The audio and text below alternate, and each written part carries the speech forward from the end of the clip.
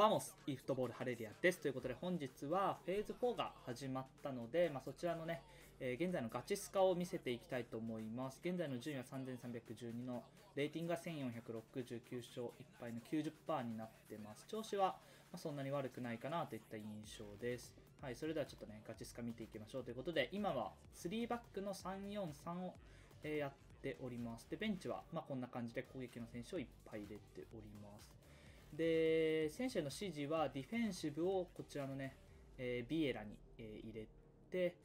あとはラインダウンを両サイドの選手に入れてます。で、ガビと、えー、スターリングに入れてます。で、こちらね、えー、スターリングは、えー、今回の来た復刻で取りました。で、同じくね、復刻のガチャで、えー、デヨングも、えー、取りましたので、まあ、こちらね、デヨングと、えー、ピルルは調子いい方を使ったりしてます。で、このフェーズ4というか、e フットボール2024になってから、まあ、正直サーバーがかなり重い印象があるので、まあ、個人的にはドリブルに、え、かなり多めに振ってます。というのも、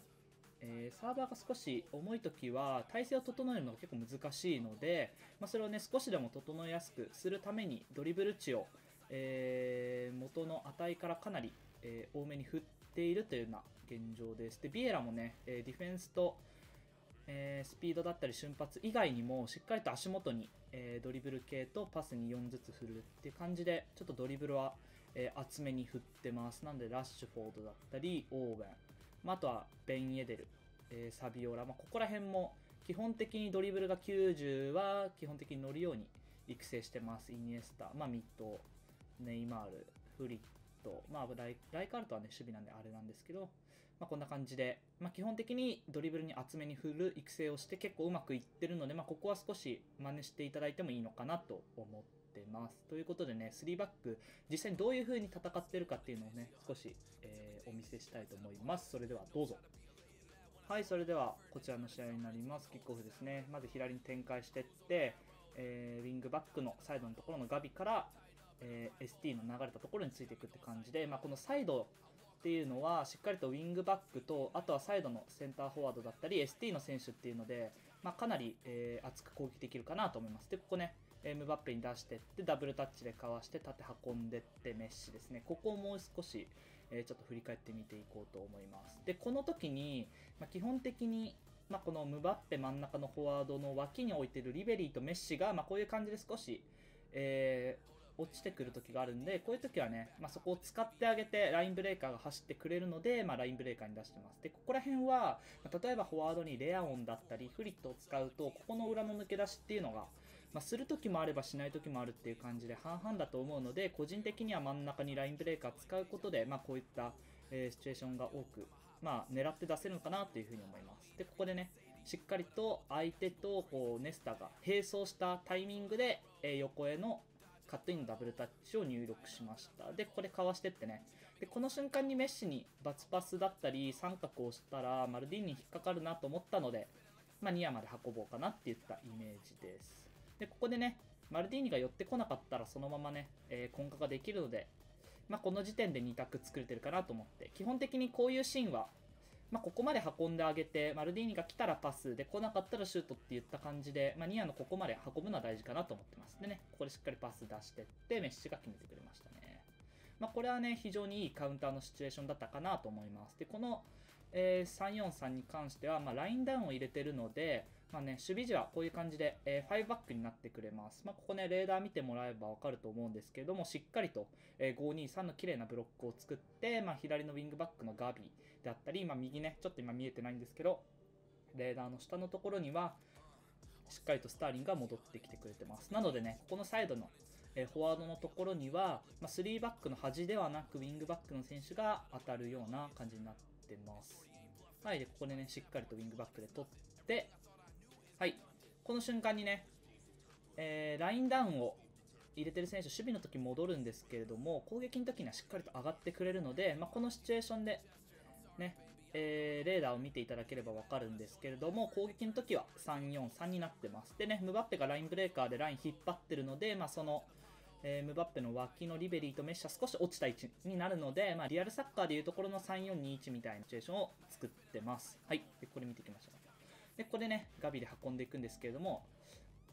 まあ、ここで大事なことというか、意識してることは、ガビだったり、右サイドのスターリングで、まあ、相手の陣地の深くまで運んでしまうと、あの、内側に戻すパスが難しくなってしまうので、あくまでこのガビとスターリングのこのウィングバックは幅を取るためっていうイメージで使ってます。はい。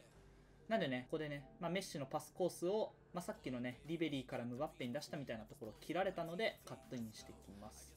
で、これね、えー、スターリングでね、サイドをこうガーってえぐってしまうと、この内側へのパスが難しいので、あれではあまり運ばないようにしてます。で、中盤に戻した時の強みは、この縦パスですよね。横からの縦はかなり通りやすいので、ここは狙っていくのがいいかなと思います。はい、で、これリベリーから、えー、ガビーなんですけど取られてしまいます。ただね、ここ見てもらえばわかるんですけれども、まあ、このしっかりとね、リベリーに入ったタイミングで、このウィングバック、守備の時は後ろにいたのに、攻撃の時にはこうやってね、かなり飛び出してきてくれてます。で、ここね、えー、通んなかったんですけれども、こういうシーンをね、狙っていくのがいいかなと思います。で、ここガビ、えー、リベリーで、ムバッペでフィニッシュですね。まあ、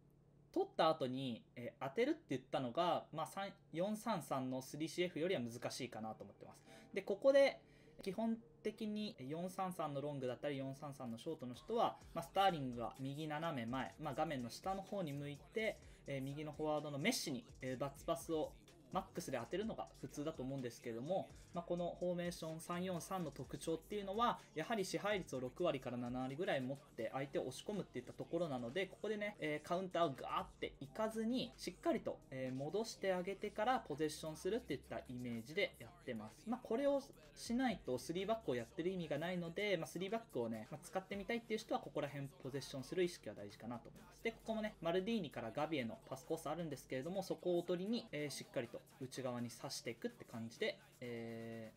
ー、内から外って感じで繋いでみます。で、ここもね、しっかり 3CB で作りつつ、インパクトで当てて内側通して、メッシ動かして、富安で少し運んでってって感じで、まあ現実と同じ感じの3バックの運びをしてます。まあアラウホのこの脇のところですね、まあマルディーニと、えー、富安っていうのはしっかりと、えー、パスできる選手なので運んでってって感じで、ここはね、もう完全に、まあ理想的なシーンだったかなと思ってもう一回見ていきましょう。まあ、ここね、しっかりと、えー、繋いでって、ワイドの選手で、え、相手の、陣形を外に開かせます。で、外に開いたところを内側使ってって、ここもね、すぐフレンキーで前向いて縦パスっていうよりかは、しっかりと相手を、この前線の選手を剥がしてって、え内側に刺します。で、この時に、えー、見てほしいのが、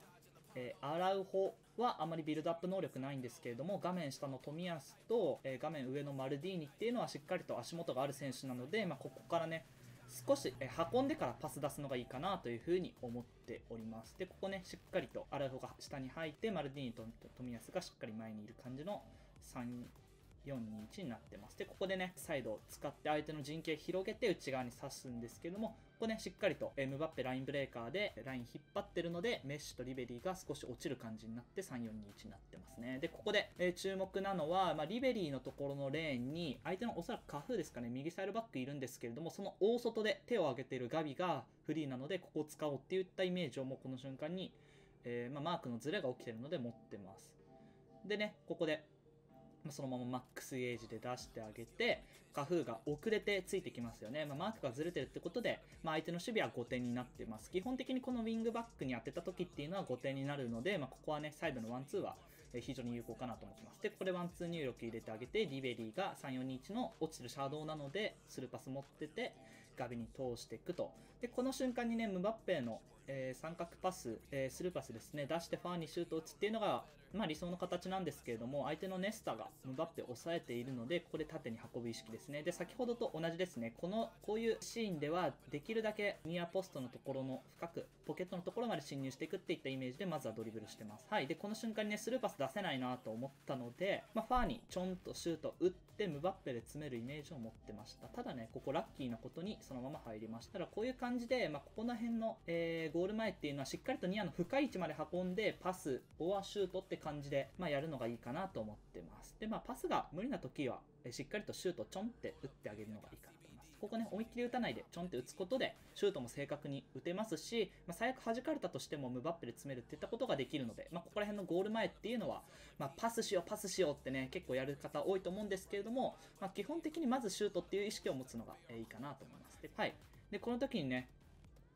えー、大事なのがウィングバックの選手は役割としては、えー、初めに言った幅を取るということなのでまあ、っすぐだったりカットインっていうより基本的には、まあ、外に外に斜めに斜めにドリブルしていくのがいいかなと思ってます。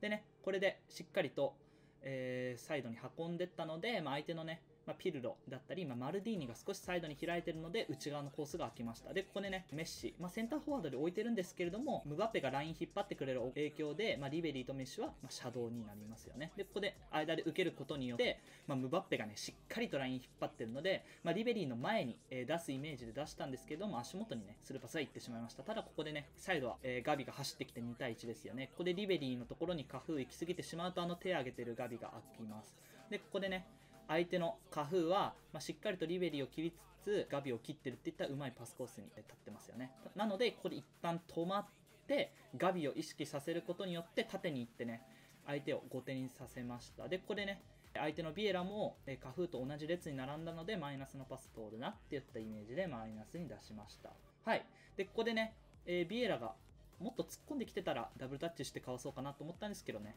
まあ、ここはね相手のうまい対応で取られてしまいましたね。はい。で、このリベリーに渡った時にはもうメッシにマルディーニがついてて、メッシが内側に入ってってるので、もうこのスターリンが開くなっていう、もうこのシーンでもうゴールイメージは、えー、もうハレルヤの中ではついてます。で、リベリーでメッシに行った瞬間に、はい、ここでね、スターリングを使うっていった感じですね。で、ここでマルディーニが仮にスターリングのパスコースを切ったらメッシが内側にドリブルしてシュートもありますし、その内側に行ってからスターリングに出すっていったもうタクも自分の中ではあります。なのでパスのね、決め打ちではなく、このマルディーニのカーソルが、えー、下側に行くのか上側に行くのかで判断を変えてます。で、このシーンはね、メッシのシュートを切ってるので、スターリングが空きました。はい。でね、ここに行ったら基本的に、まあ、皆さんね、パスのイメージがあると思うんですけれども、まあ、初めからね、言ってるように、この、えー、深い位置、ニアの深い位置までまず運ぶことを意識しましょう。はい。で、このシーンでね、えー、基本的にはこの手前側のムバッペだったり、えー、奥のリベリーのパスを、まあ、考えはするんですけれども、まあ、このシーンはね、まあ、通せそうにないなと思ったので、こういう時は、えー、ファーにチョンシュを打ちましょう。えー、ちょうど9勝1敗の90%になってます。ということで、本日の動画いかがだったでしょうか？守備時は、えー、この、えラインダウンで5バックになって、攻撃時は、まあ、ムバッペが引っ張るので、まあね、しっかりとリベリーが、えー、メッシが落ちてきて3421に、まあ、こういう感じで、えー、なるので、まあ、ここをね、しっかりとサイドをおとりにしながら内側使ってやってみてほしいなと思います。ということでね、今後も動画上げていくので、ぜひこの動画が分かりやすいなであったりとか、3バックやってみたいなっていう人はね、ぜひチャンネル登録と高評価お願いします。あとね、3バック使った時にちょっと使用感とかもね、コメントに送ってほしいなと思います。ということで、また次の動画で会いましょう。バモスユフットボールみんな3バック使ってね Lately you don't feel like yourself You kinda hate it You suppress all of the thoughts in your head And say it's complicated You hide your pain, but I can see it. Etched on your face. I know the feeling